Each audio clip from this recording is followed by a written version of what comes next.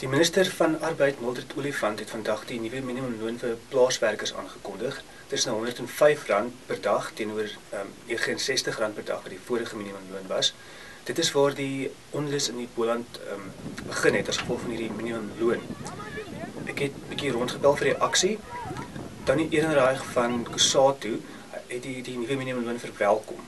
Hy is egter nog steeds besorgd dat dat dit te min is vir, vir om die lewensomstandighede van plaaswerkers te verbeter. Hy meen onder te R50 'n dag is is 'n beter syfer. Um hy's ook nog nie heeltemal tevrede met met Agri SA en die, invloed wat hulle op boere het nie. Ek het ook vir Nousie Pieterse van Bahusa, een van die ander leidende vakbonde in die onlangse onlus um gebel. Hy is glad nie tevrede met die met die nuwe minimumloon nie um, die moontlikheid dat die staking dat van Boese se kant af die staking weer gaan voortgesit word uh, het hy geopper. Ehm um, maar hy gaan eers nog met met ander vakbonde konsulteer en en voor 'n definitiewe plan vorentoe ehm um, bekend gemaak sal word. Agri Weskaap ehm um, is baie teleurgestel met die nuwe minimumloon. Dit is volgens hulle te hoog.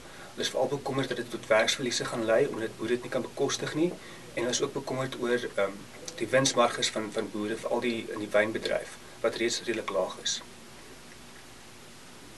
My persoonlike gevoel is dat die ehm um, die minimumloon nie die die ehm um, uiteindelike oplossing is vir die onlangse onlus nie. Ehm um, want die, dit gaan oor meer, dit gaan oor lewensomstandighede op plase en ek dink daar sal nog 'n redelike proses vorentoe moet wees om dit aan te spreek.